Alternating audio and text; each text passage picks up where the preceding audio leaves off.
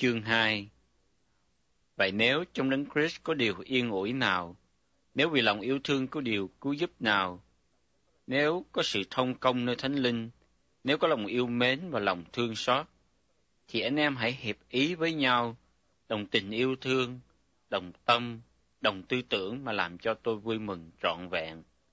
Chớ làm sự chi vì lòng tranh cạnh hoặc vì hư vinh, nhưng hãy khiêm nhường, coi người khác như tôn trọng hơn mình.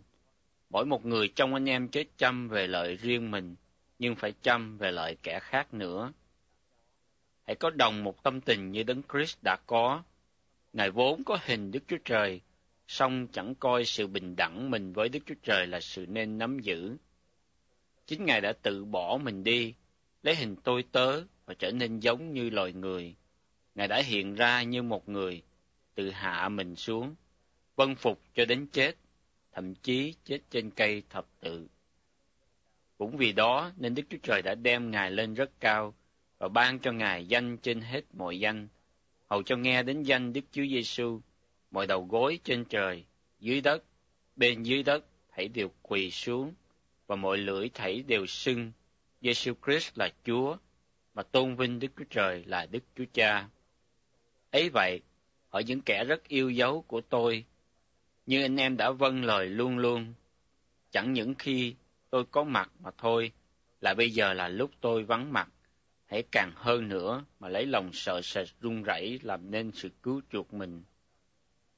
Vì ấy chính Đức Chúa Trời cảm động lòng anh em, vừa muốn vừa làm theo ý tốt Ngài.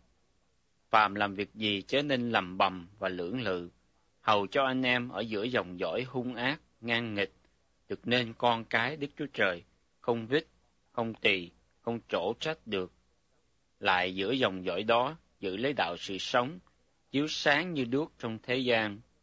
Cho đến nỗi tới ngày của Đấng Christ, tôi có thể khoe mình rằng chẳng đã chạy vô ích và khó nhọc luôn công, vì dầu huyết tôi phải dùng để tưới trên của lễ và của dân đức tin anh em, tôi cũng vui lòng. Lại đồng vui với anh em hết thảy. Anh em cũng vậy, hãy vui lòng về điều đó và hãy cùng vui với tôi. Vả, tôi mong nhờ ơn Đức Chúa Giêsu kiếp sai Timothy đến cùng anh em, để tới phiên tôi, tôi nghe tin anh em mà được yên lòng. Thật vậy, tôi không có ai như người đồng tình với tôi để thật lòng lo về việc anh em. Ai nấy đều tìm lợi riêng của mình, chứ không tìm của Đức Chúa Giêsu Christ.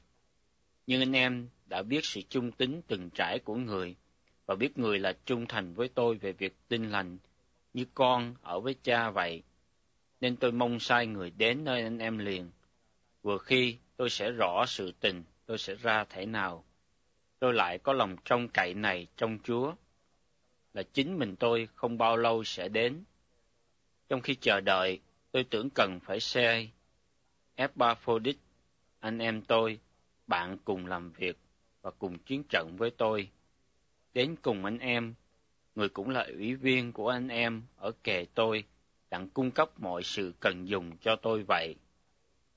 Vì người rất ước ao thấy anh em hết thảy, và đã lo về anh em nghe mình bị đau ốm. Vả, người mắc bệnh gần chết, nhưng Đức Chúa Trời đã thương xót người, và chẳng những người mà thôi, cả đến tôi nữa, đặng tôi khỏi buồn rầu, càng thêm buồn rầu. Vậy, tôi đã sai người đi rất kiếp, hầu cho anh em lại thấy người thì mừng rỡ, và tôi cũng bớt buồn rầu.